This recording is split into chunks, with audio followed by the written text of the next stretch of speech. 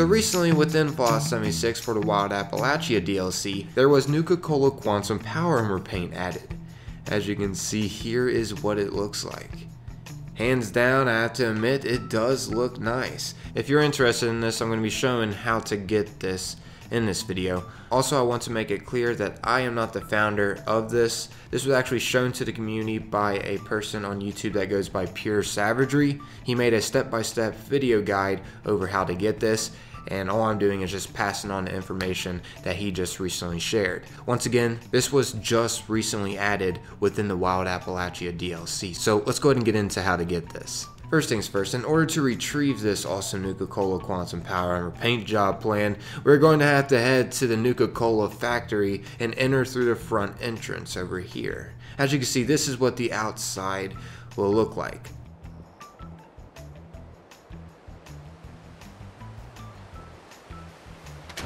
Once in, we are going to want to make our way to the bathroom, which is located over here on the left. It'll actually be a locked door, but it doesn't require a skill level to unlock. So it should be a breeze as long as you got bobby pins to spare. Once inside though, you just want to go inside this stall and close the door and it should actually be right underneath where you just closed the door at. So yeah, this will be where the first key card is located at.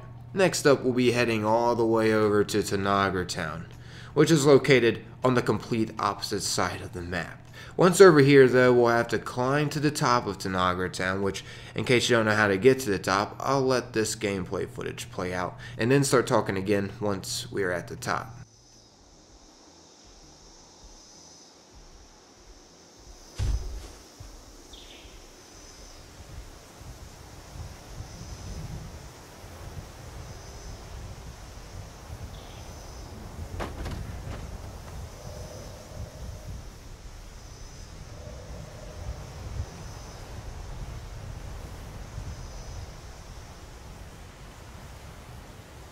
So once we are up here, we'll want to head into this house and jump over this gap. This may take a few tries, especially if you don't have the marsupial mutation.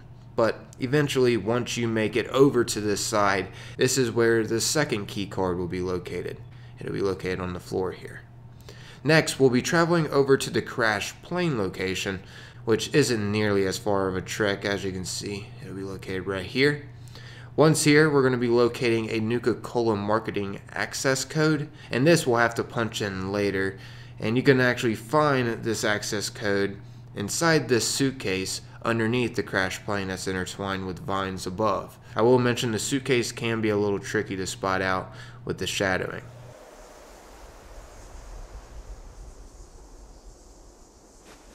Anyways, once we have this, now we're going to want to head over to the Ingram Mansion and use the terminal in the back. The terminal will actually be located in this room where it seems like the windows were busted out to enter inside. Not too sure on the lore if there is any on who actually busted these out to get inside.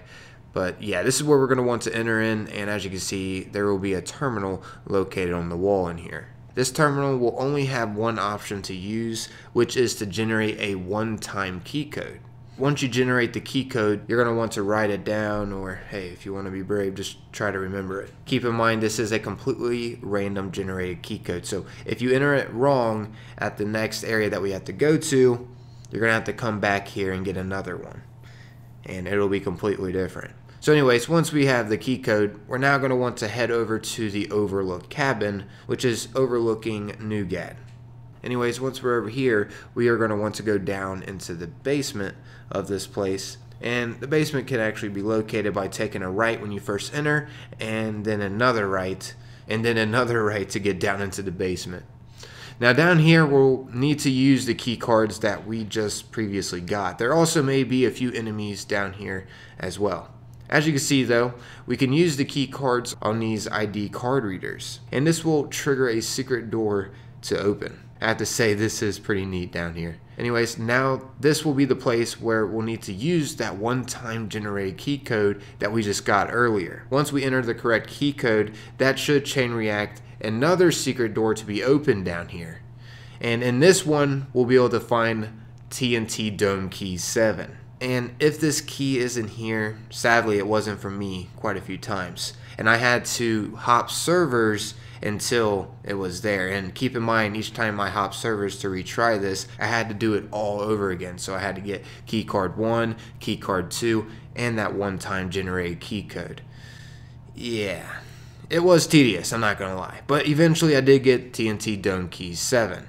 You may have a friend that already has this, which, if that friend has this and is willing to just give it up to you or maybe help you unlock this dome to get this Nuka Cola Quantum Power Armor paint job, that would be nice of them. But anyways, you can actually locate this dome over at the Black Mountain Ordnance Works. It's not too far from Vault 76. This is where all the domes are located at. And you can find Dome 7 back here surrounded by giant rocks. So the giant rocks can make this pretty well hidden. But yeah, back here you should find the entrance inside. And keep in mind, if these doors are opened to the dome, that means someone was here previously and they already picked up the Nuka-Cola Quantum Paint Plan, which sucks, you know. This can take quite a bit of server hopping to eventually get this. Like some of my buddies took quite a bit of hours to get this. It can take a long time. I'm going to mention that right now. But eventually, if you keep trying long enough, you should see the Nuka Cola Quantum paint job plan on this table. Which, if you're having trouble locating this dome, it's located exactly where my marker is. And as you can see, it will be located on this table inside here. And also, besides this Nuka Cola Quantum paint plan, I didn't really see nothing too significant in here. But yeah, that's where wrapping up this video, everybody. Hopefully you found it enjoyable and it does help you out. If you want, maybe consider taking a little bit of your time and leaving a like. As always, though, that's totally up to you. I'm out of here. Thanks for taking the time to watch and listen.